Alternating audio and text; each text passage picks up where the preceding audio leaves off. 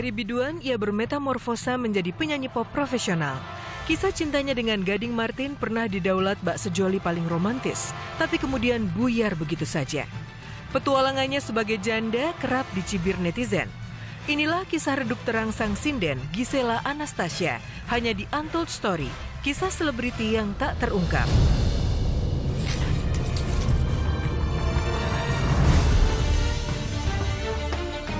Penyanyi Gisela Anastasia mendadak harus bolak-balik kota asalnya Surabaya, Jawa Timur. Tapi bukan untuk keperluan acara keluarga, melainkan memenuhi panggilan Polda Jatim karena tersangkut kasus perusahaan travel yang membobol kartu kredit konsumennya alias carding, di mana Gisel bersama artis lainnya seperti Tias Mirasih pernah menjadi wasilah yang mempromokan agen travel online tersebut melalui akun media sosialnya. Pagi tadi sekira pukul 10 tiba, mulai setengah 11 kita lakukan pemeriksaan, terpotong tadi ada kegiatan sholat Jumat ya, kemudian dilanjut di saat ini pukul setengah 5 selesai tuntas semuanya. Secara personal kita nggak kenal, tapi melalui proses dari uh, endorsement kemarin mereka mendekatkan diri juga. Jadi kenal. Muncul. Sebelumnya mah Ya, nggak kenal. jadi kenal. Sebelumnya Nasi telah jadi bubur.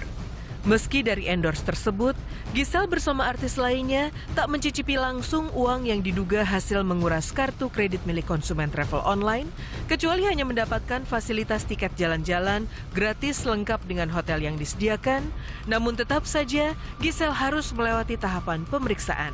endorse Jakarta tuh tahun lalu ya, akhir tahun ya. Tahun 2019 ya. Eh. Beda-beda sih. Beda-beda. Kalau Katias di Desember Desember. endorse-nya. Kalau aku di bulan Mei 28 sama 11. Ya. 2019. Eh, Jadi tapi semua tahun lalu. Pernah dapat uang, Mbak?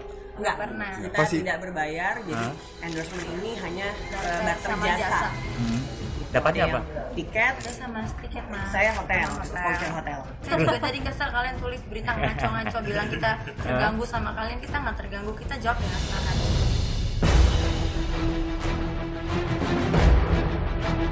Bukan kali ini saja, Gisel harus berurusan dengan hukum. Pada tahun 2016, saat masih bersama Gading, Gisel dan suaminya kala itu harus terjaring razia narkoba di sebuah klub malam kawasan Kemang karena diduga maraknya peredaran narkoba di tempat tersebut. Kala itu baik Gisel maupun Gading harus ngantri menjalani tes urin. Beruntung keduanya negatif narkoba. Hai, kami baru pulang dari tempat nongkrong kita biasanya di Kemang eh, yang biasa dengerin band.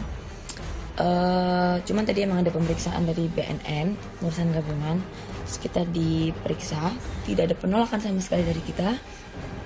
Cuman tadi kita sempat agak emosi karena difoto-foto oleh wartawan dan sudah tahu pasti foto itu akan dipergunakan untuk headline berita online yang tidak bertanggung jawab. Jadi kesannya gantung kalau kita ini emang ngaco.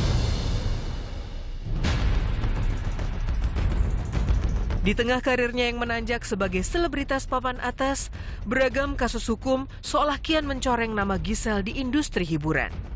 Padahal jauh sebelum tersangkut beragam kasus hukum, hingga diterpa video syur mirip dirinya yang sempat beredar di jagat maya, Gisel pernah mencecap manisnya image sebagai pendamping wanita ideal. Let's fall in love like the old fashioned way.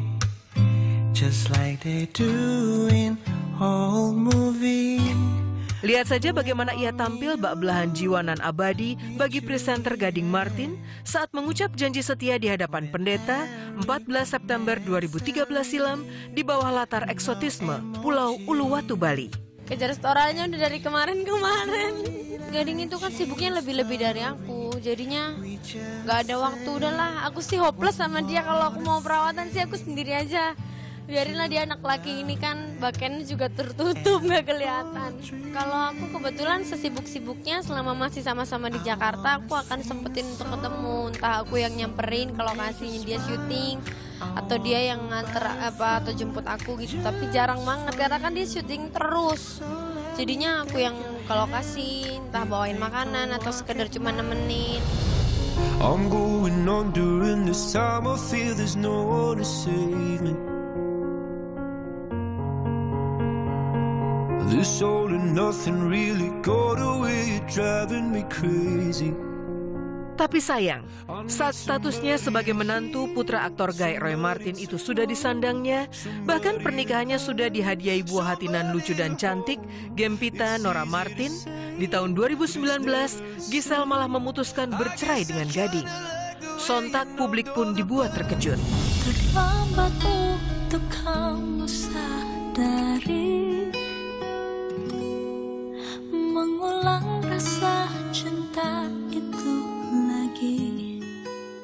sejoli yang selama ini digadang-gadang sebagai pasangan ideal, tiba-tiba bahteranya harus buyar untuk alasan yang hingga kini masih rapat-rapat ditutupi keduanya. Saya nggak punya pacar, saya nggak ada dokter. Saya punya teman dokter banyak. Aku sempat dengar ada orang ketiga gitu. Aku sempat dengar ada masalah gading nggak nafkain. Aku sempat dengar itu. Aku jujur aku belum konfirmasi ke mereka soal itu. Memang memang kita berdua punya masalah yang mungkin emang kita tidak akan keluarkan. Kenapa masalahnya? Cuman memang ini adalah memang keputusan yang sudah dipikirkan, sudah diomongin baik-baik juga. Makanya juga kita ke depannya juga akan berusaha pisah juga dengan baik-baik. Itu proses kita bareng juga. Proses bareng bukan proses Mas sendiri atau proses saya sendiri. Itu ya proses total kami berdua untuk akhirnya memutuskan ini ya lumayan cukup lama sih ya. Nggak, nggak ingat. Hari yang lalu selalu bertemu bermesraan Tingkah lucu dan mengemaskan Gempi plus popularitasnya sebagai youtuber cilik seolah tak mampu menahan laju perceraian Papa Gading dan Mama Gisel. Ya permintaan Gading adalah jangan menjelek-jelekan Gisel gitu. Karena emang baik-baik aja dan apa pun yang terjadi di depan emang kita keluarga. Gitu. Kita keluarga mau Giselnya nanti cerai atau apa kita tetap keluarga. Keluarga nggak mungkin bisa putus gitu. Dan dan yang kedua eh, Gempi, prioritas Gempi. Itu yang paling penting. Lantas bagaimana Gisel memulihkan citra pendamping setia di tengah cibiran banyak orang sebagai istri yang nakal? Benarkah Gisel terlalu asik masuk dalam lingkaran pergaulan bebas dengan sejawat sosialitanya hingga sulit mendamaikan egonya dengan Gading?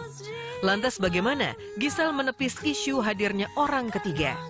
Jangan ke mana-mana, tetap di Untold Story, kisah selebriti yang tak terungkap.